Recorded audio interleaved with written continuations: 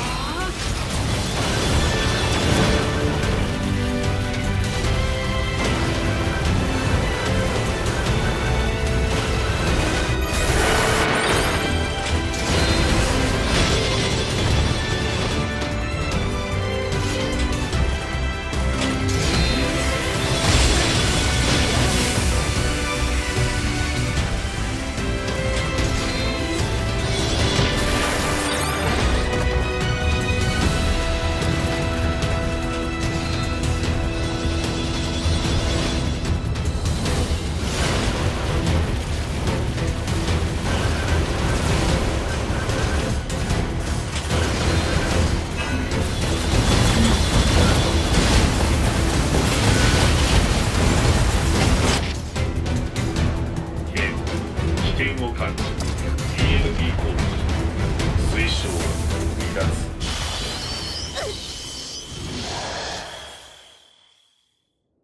ここは EMP 攻撃の衝撃によって A2 のメモリ空間にハッキング被害が生じた模様じゃあこれは私の記憶領域かてかなんでお前がここにいるんだ？随行支援ユニットは支援対象機に不具合があった場合内部モニタリングの義務があるため。勝手に人の頭に入ってくるな。